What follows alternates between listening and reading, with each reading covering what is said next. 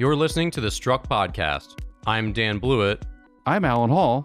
and here on Struck, we talk about everything aviation, aerospace engineering, and lightning protection.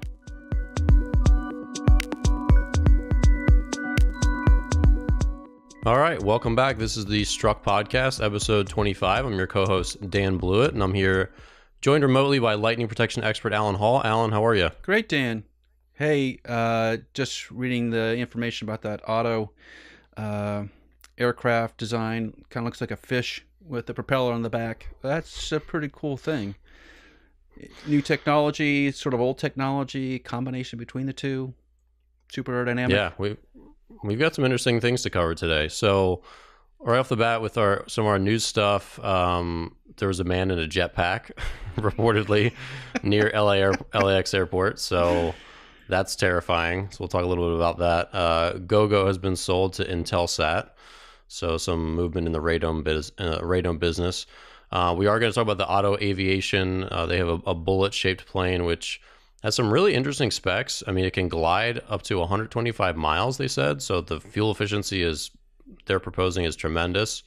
Um, and lastly, we'll also chat a little bit about uh, potential for a supersonic Air Force One, uh, Hyundai entering the eVTOL market, and some battery advances by Tesla that might make a real big difference also in the electric uh, aviation. So, first, let's talk about this jetpack fellow.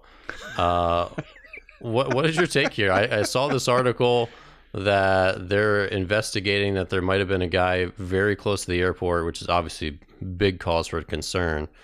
Um, I mean, how do they regulate this stuff at the airport? Well, you can't fly anything near an airport because an aircraft might run into it. So they're super cautious, and pilots are are very aware of of peripheral peripheral things around the airport that could pose a safety risk to the aircraft. So, uh, seeing uh, somebody in a jetpack suit or something of the sort probably set off a lot of alarm bells in the cockpit, and uh, because Uh, that sh- he shouldn't be doing that. But I don't think they have found who, who, what, when, where this thing is. Like this, this is still sort of a mystery, as far as I can tell from the news sources. They haven't identified who was doing this, and is it, it was it a real person? Was it a dummy? Was it a drone of some sort? Who knows, right? It could have been a high school kid with, you know, some sort of who obviously they're not kids aren't really at school right now looking to you know entertain themselves who knows uh, but it is a real safety risk holy moly Well, just I mean, we were talking about bird strikes last last week. yeah Well, what we don't need to have is human strikes with people just up there, and I mean that's horrific. So, yikes! Yeah, they got to stay stay away from the airport. well so, yeah and I, the you know the iron man movies have uh, have a creative influence on a lot of uh, people who are sort of quasi scientific and have the skill sets to, to make stuff, right? So in today's world, it's not Mhm. very hard to to buy little jet engines that can propel you uh, that have more thrust uh, than your body weight, and so they can lift you. And, and um, uh, the guys off of uh, MythBusters, do you ever see that episode where, the, where the one of the MythBusters guys built that Iron Man suit and was flying around in it? That's the first thing that popped up in my head. I was like, is that a Mhm. MythBusters guy that was doing that? Um, but if you remember back in the old James Bond movies where they had James Bond in that jetpack flying around in part of the movie, that that's what also popped to mind is like, holy moly, or someone uh, jetpacks are a thing. It, it is a thing that, that is not difficult to do in today's world. You just don't want to do it near an airport. That's all. Man. yeah, that's a really really bad idea. Ugh, get, hit, get hit by a plane. Come on. yeah. I mean, I, I think jetpack technology has enough trouble dealing with hitting the ground. I mean, that seems to be the main hazard. Like, let's not throw extra variables. Yet, the ground is a major threat. Now we have planes coming at you. I mean, that's a scary technology. Yeah. But yeah. So Intelsat is has acquired GoGo Commercial. So you're obviously super familiar with both of these companies, uh, being in the radome protection business. So what is this? Uh, how does this this transaction strike you? So four hundred million dollars was the sales price. Now Intel Intelsat filed for Chapter Eleven bankruptcy in May. Yeah. Um, and they're going to finance the transaction using cash on hand and some borrowing. Right. But um, what do you what do you see emerging from this uh, this deal? Probably uh, definitely more stable leftover GoGo. Uh, the business side of GoGo, which is the air to ground side, not air and not aircraft to satellite business. So they are the, the commercial side's the aircraft to satellite uh, 2KU uh, pizza pie shaped antennas with a radome on the back end of the fuselage uh, design. That that's a great product, by the way. Uh, that seems to have really they have really pushed that product pretty hard and have deeply penetrated the marketplace with that product line, uh, and rightly so. But it is it is it is KU, so the, the, the, the bandwidth of that system is limited versus the KA systems, the newer KA systems that are coming about today.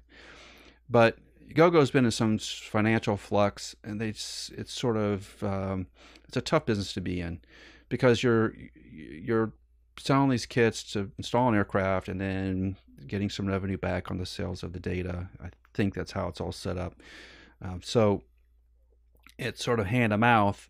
Um, it takes a lot of cash to create that business, and then and then you're trying to recoup it sort of slowly over time. And, and GoGo on that on that side of the business had struggled. In fact, it wasn't probably a year or two ago where they're, they're talking about essentially the same thing, trying to break the company into keep the business the business side, business aircraft side, up and running, and and sell off the commercial side to spacecraft manufacturer or spacecraft business, satellite business, uh, to them because it's part of their network that would make sense to me. The business side has always been very profitable for GoGo. So they have a, a number of air to ground, and they're the really they're an evolution of other companies, but essentially they've always had this sort of network of cell towers they've installed antennas on to uh, for the aircraft to uh, send data up and down to ground stations. So as you fly across the United States, you come across these ground stations, and it, it sent data up and down.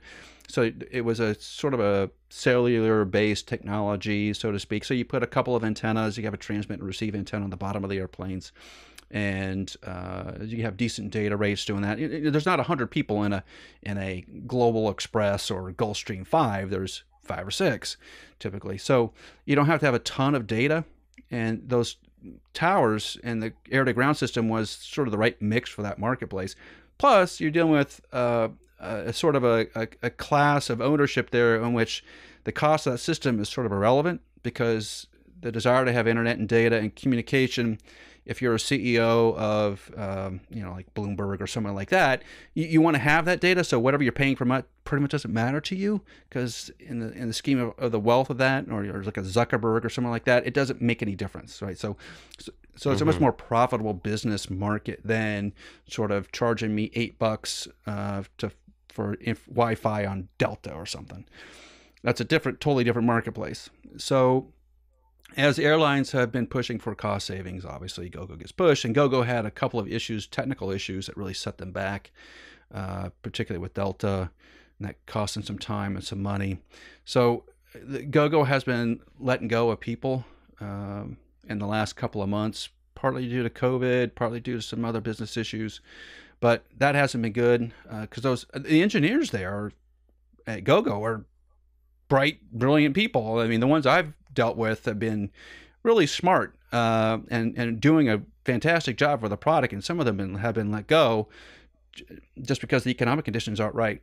Uh, so I hope that now that uh, you know they've transferred ownership to a, satellite company that some of those engineers get hired back to support that product line because it, it does have a marketplace. It have a large market share right now, and you'd hate to see it go away. That that's it's sort of like Global Eagle. Global Eagle went through the same. It's going through the same thing. They filed for bankruptcy um, a couple of months ago. Global Eagle is the uh, Row 44. It was the company that installed all the satcoms on Southwest airline airplanes. So everybody's running. As soon as the airplanes stop flying, the revenue streams from those aircraft stop too. So if, if you're relying upon the consumer revenue to pay for all the things you spent money on, all the engineering time and development time, and airplanes aren't flying, you're in trouble. It'd be like if you shut down 80% of the slot machines in Vegas. Like Vegas would be in big trouble, right? You need yeah. people pulling the lever, right? And and they don't have it right now. And so it, it it's it's causing a lot of chaos in the marketplace.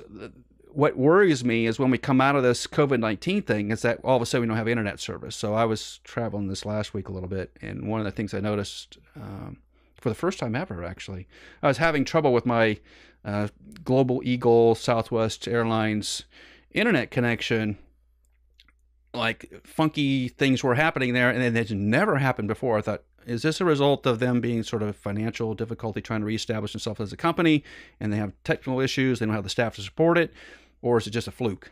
But you know, what runs through your mind is like, hey, they're in bankruptcy, they're reorganizing. Stuff happens when you're reorganizing, and this kind of, um, from the consumer perspective, chaos happens. But it's not good. You know, we've we've got to get back to people starting to travel again relatively soon.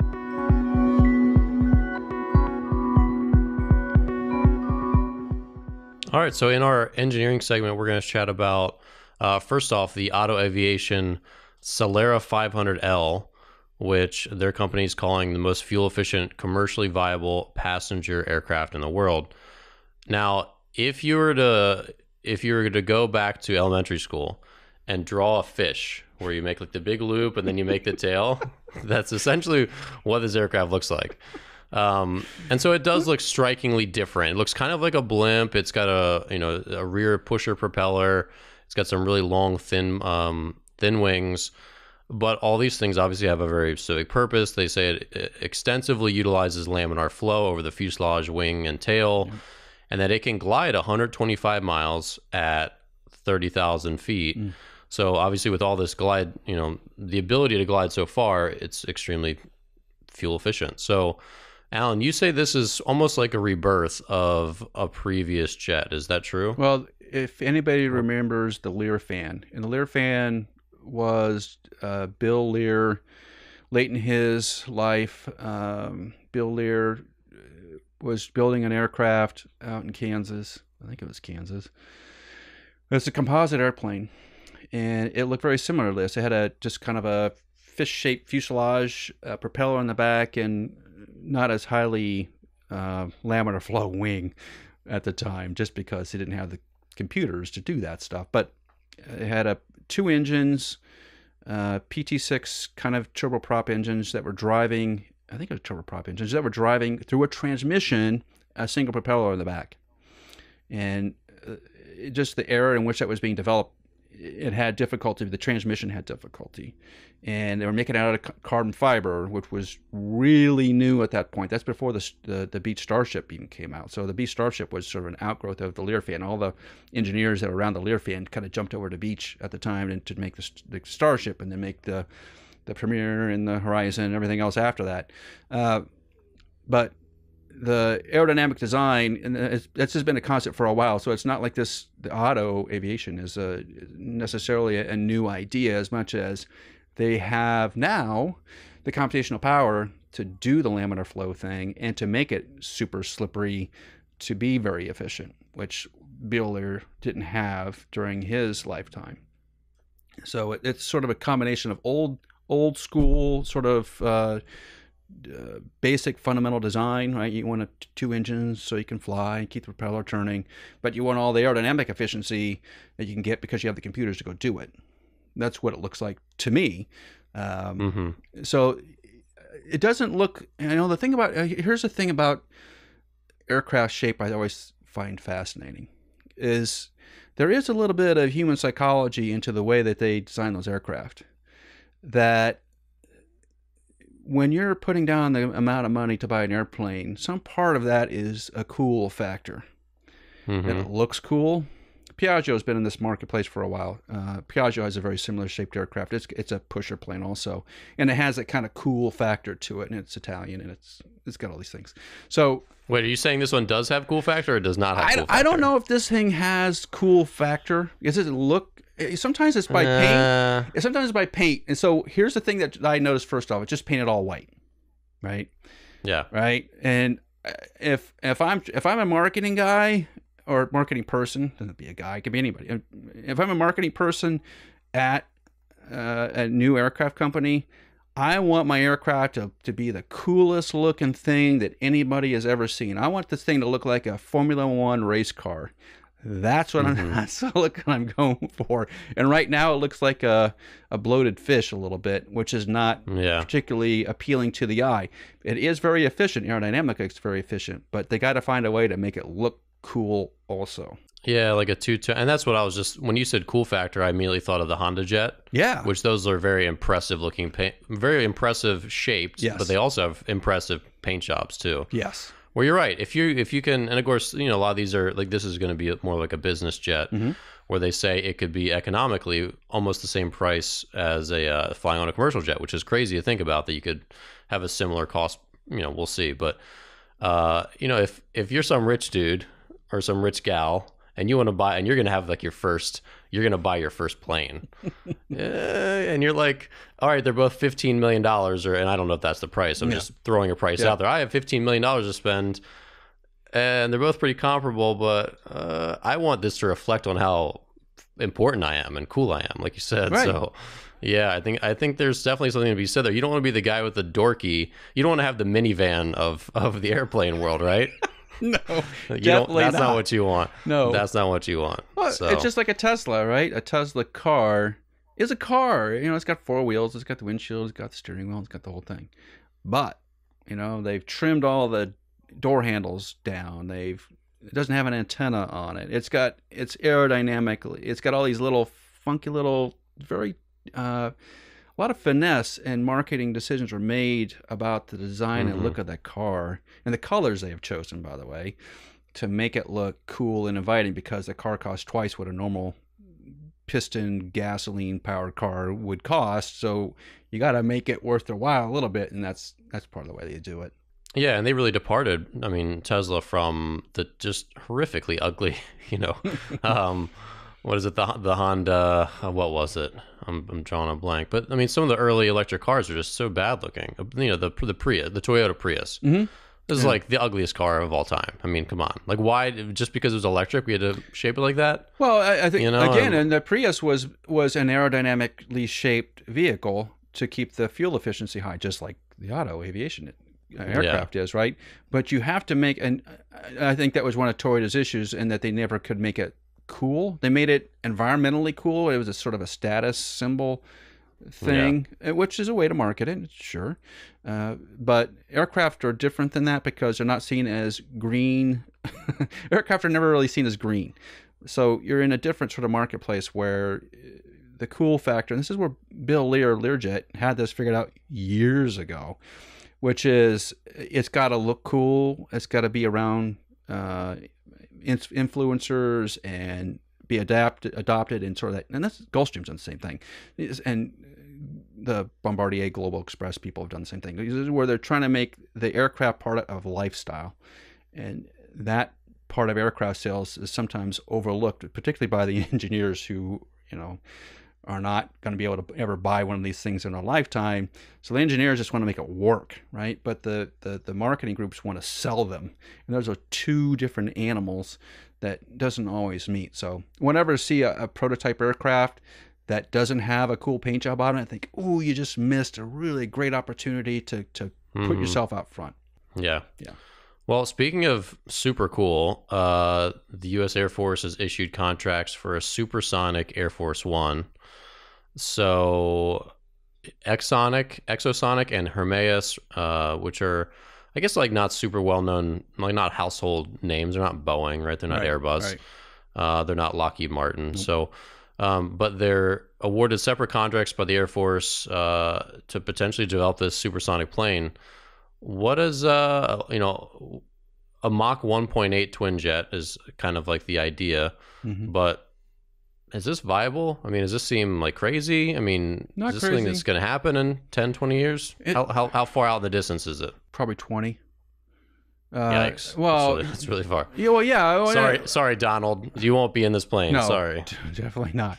Hmm. Uh, Just because, well, think about it. I mean, we've been building aircraft that have, passed the Mach 1 threshold for a long time now. So that's not new technology. So there's a couple like Boom and Aerion and a couple others are going to build a supersonic business aircraft. That's that's in the works, and they're building prototypes right now. So that, that that's happening. I, I think the Air Force One's a different animal in that it's got to have a ton of communications equipment. It's got to have ability to hold a lot of people because there's always press. You know, there's, there's press as part of the president's job is communication, right? So there's always press and Mhm. staff and things and and Air Force personnel and safety personnel on it, and it has to be super super safe. This uh, the thing about a 747, which the has been used for most of my well a long time now since the 70s I think, as the well since no since Reagan, since Reagan, which had been the 80s, uh, is when I think the 747 Air Force One popped out. Was it was just a four engine aircraft and it's specially designed to fly at super high altitudes and has all this anti-missile technology, has all this satellite communication technology on it. And I don't know how you're going to do that on a supersonic aircraft because they don't tend to be big.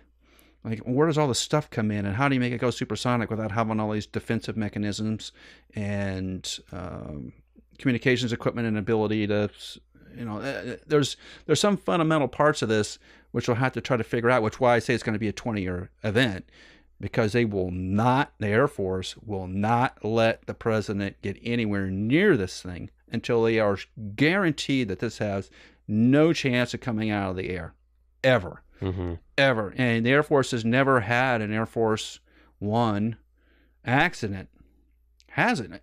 Right? Uh, and it's just because that aircraft is maintained at such a high level, and there's two of them, but those aircraft are it's maintained such a high level all the time. A supersonic aircraft, you know, the Air Force deals with those air, supersonic aircraft all the time.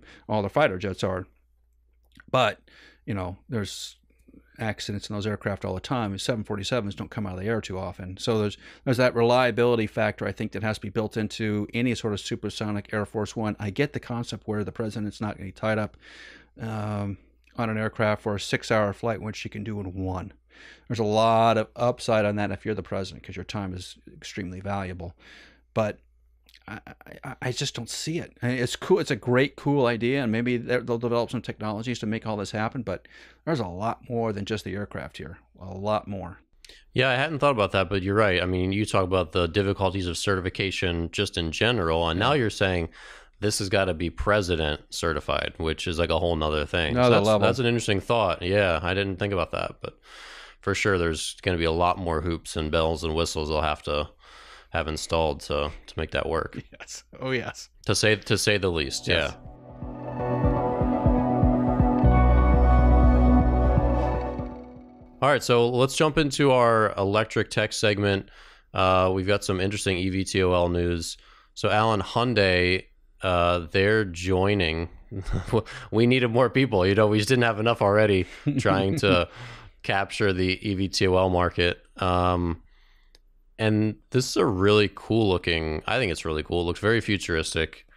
Uh, they're partnering with uh, Uber Elevate to help develop these air taxis. So Hyundai's partnering with them, and uh, their their SA1 will potentially cruise at 180 miles per hour between one to 2,000 feet of elevation with a range of about 60 miles.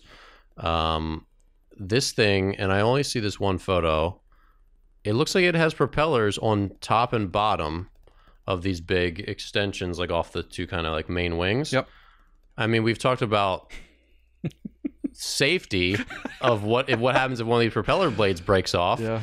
And I'm looking at how do you get in this plane without having your head hit the rotor? Yeah. Like it I don't know. that seems that seems awfully close to I- where the people go. Again, the again yeah. it's that cool factor. There, a lot of this marketing of the EVTOL marketplace is based on coolness, and they're they're smart, and particularly when you have automotive companies involved because they understand what the consumer market looks like all the time because they're constantly in it. And they, and they know they have, Mhm. they're surveying people all the time. They're watching trends. They're watching particularly color trends, shape trends, all that stuff. And the, the car market is an output of what every, all the other marketplaces that we're in and trying i always feel a lot of times particularly the united states automakers are always sort of falling behind on trends.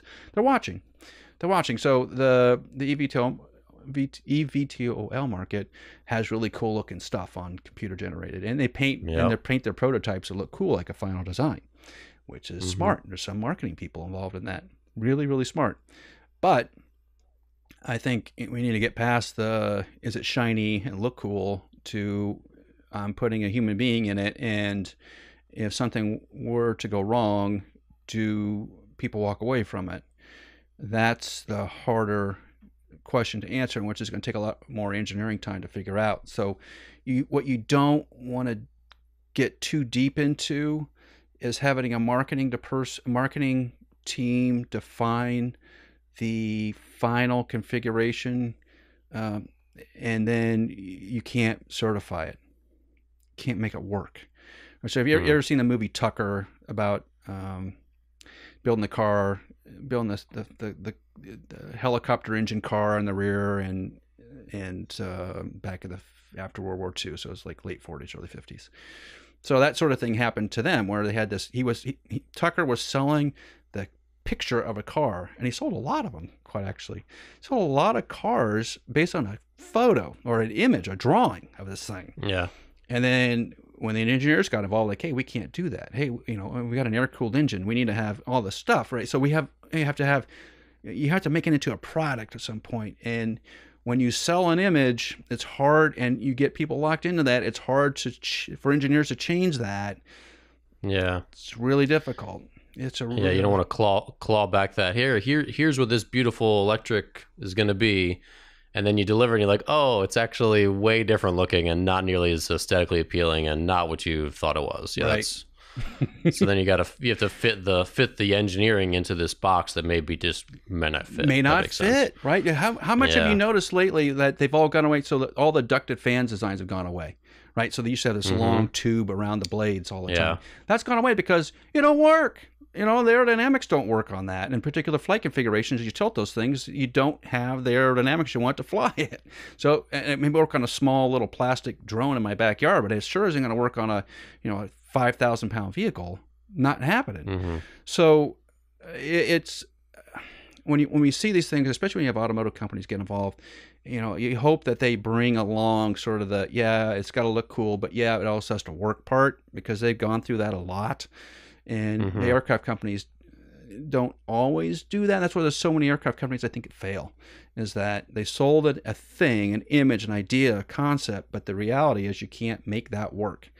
That's where you know we- that's where companies get made or, or, or fail a lot of times right there i know when i worked on the the Beech Premier right so the Beech Premier jet was in my opinion a really cool looking thing right but it got people got sold a certain certain look to it and when it was finally produced um, just because of the way that it was configured and the way that we wanted to manufacture it it had long landing gear. Like it, the aircraft stood up high because it, the the Mhm. wing was actually bolted to the bottom of a of a real cylinder fuselage. So the, the usually the wing actually penetrates the cylinder of the fuselage. In this case, it didn't. It actually is bolted onto the bottom. So it's kind of got this guppy guppy look to it, and it looks odd on the ground. So they had a hard time, I think, marketing the thing because it looks cool in the air. and It was fast, uh, and it did performance wise pretty much essentially what it, what it was sold to but the the comments on the internet were oh it looks it looks guppy-ish it looks slow it doesn't have but in flight is awesome uh, Yeah. looks looks have a lot to do with the aircraft market because it's just the marketplace you're in it really is Yeah, and it's a high dollar thing. Like like we- like we said, it's got to look it's got to look the part, right? Yes. yeah. which is what honda's done right honda has totally done that with the honda jet yeah. They started out with a cool design, but they also knew that it would work, and they stuck to it. So they, they, spent a lot of time making those two things, the coolness and the functionality, work together. They spent many, many years doing that. Now, of course, you know, it's always the dog that's not barking. You're always wondering, where's the dog that's not barking? Who's the dog that's not barking in EVTOL? Honda. Honda isn't barking right yeah, yet. where are they? Where are they? Right? Because they're making a really cool aircraft. It has market appeal.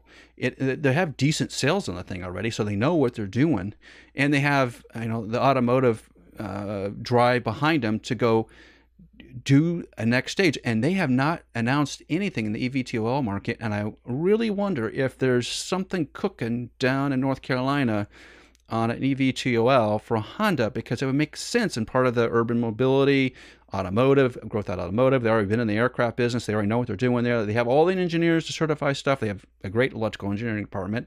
So they could totally go do an, an VTOL and I think be successful in it, but they have not made any noise in that marketplace. And that's the one to watch for. Hmm.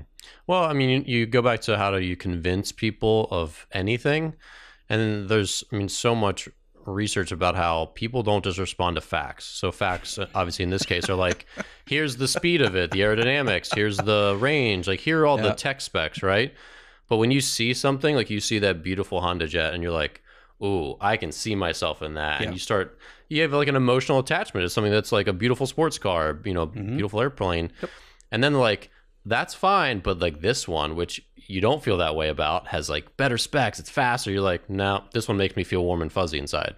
So yeah, I think you're right that there's still these are still humans buying these vehicles, and you can't just sell them a spec sheet. No, So- no, not today. No, definitely Not not, at all. No. So last thing on our list today, Tesla. They say uh, in their battery research, uh, they're getting closer to a potential breakthrough that could really affect uh, av- aviation. So, what's your take? It sounds like the. I mean, obviously, this is going to be big news for the EVTOL market.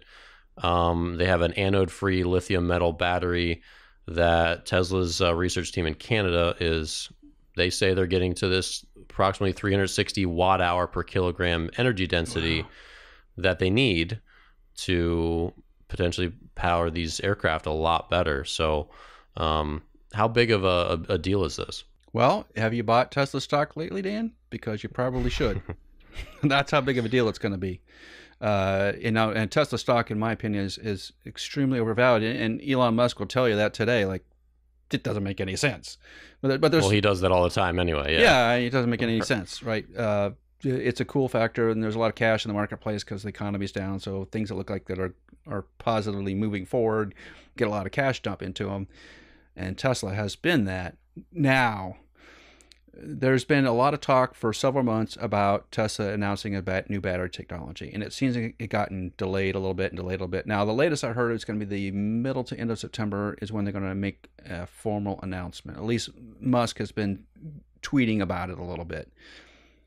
I think that will happen, and if the energy, essentially energy energy density of the batteries makes some significant breakthrough, even a moderate breakthrough, would would be a really big deal on all kinds of battery technology things. So, you know, eh, um, Musk has got so many things cooking at one time. Tesla and SpaceX, uh, um, and it's not just Musk, right? I mean, there's there's thousands of engineers and 10s of thousands of employees at those companies that are that are making uh, magical things happen right now. But you know, Musk is really pushing towards really a different looking society of some sort. That, that seems to be where he's going with the Mars, people living on Mars and trying to get people to travel to Mars. I think that is a possibility still. It's still in the realm of possibility. But he's also making inroads in significant battery technology uh, that will have a real driving change into the way the American, European, Asian economies work and don't think otherwise because if some of these things even come partly true there's going to be a big shift. And if we can drive the cost of battery down and get the density energy density up uh, you and i will, will have a different our, our kids will have a different life than what we had. And i do think uh, the thing about musk is that and just having seen a little bit closer the last couple of weeks i do think that there is a uh, kind of like Google had for a while and Facebook had for a while. There's sort of this gravitational effect on engineering talent that's that's happening with him, where it's like the top destination for engineering graduates, uh, just because I think they're just visible and they, they pay decent salaries and working on cool stuff. But the fallout of that is that you have a lot of smart people working pretty hard and seem and seem to have sort of this greater goal going on, so they're willing to put in time on it to push the technology. And Musk doesn't seem to care where the technology is being developed at. Like you said, this is up in Canada, right?